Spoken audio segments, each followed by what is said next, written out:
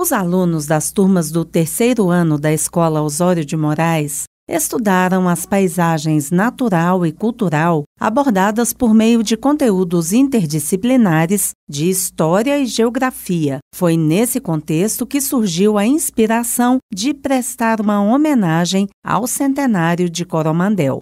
As crianças se envolveram na criação das maquetes, contando com a colaboração ativa de seus pais. O conjunto de representações inclui a rodoviária, a Escola Osório de Moraes, a Prefeitura e a Câmara Municipal. A Gerais FM, que completa 30 anos em 2023, também foi fielmente reproduzida. A Anália, uma das professoras do projeto, conversou com a nossa reportagem e mostrou sua perspectiva sobre o projeto. Esse trabalho das maquetes, ele foi feito a partir do, dos conteúdos estudados, né, dos conteúdos programados, é, interdisciplinares, mas com foco em paisagem natural e cultural. E que a gente trouxe, né, para Coromandel, para que as crianças pudessem vivenciar mais essas paisagens da nossa cidade e com o intuito já de homenagear Coromandel no seu centenário. Foi um trabalho feito né, pelas três turmas do terceiro ano né, da Escola Osório de Moraes, por minha turma, a turma da dona Gabriele e da dona Juliana, e também um trabalho de cooperação da família, porque sem a família né, a gente não conseguiria é, fazer esse lindo trabalho. A importância da participação da família nas atividades escolares. Sim, é fundamental a importância da família. E assim, a gente sente, né?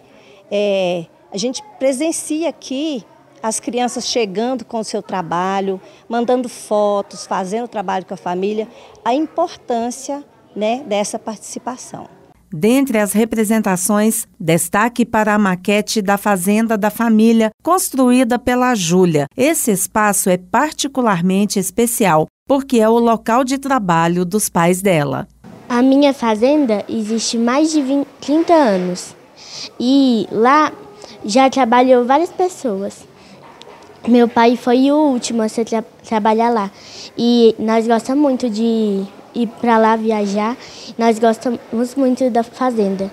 O Davi, de 9 anos, contou que gosta muito de ir à igreja e escolheu retratar um dos marcos históricos onde a cidade começou. Ela é um marco da nossa cidade, é um marco histórico e é um, tra um trabalho que eu sempre quis fazer em maquete.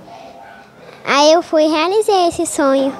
E você gosta de ir à igreja, de frequentar igrejas? Gosto, gosto muito.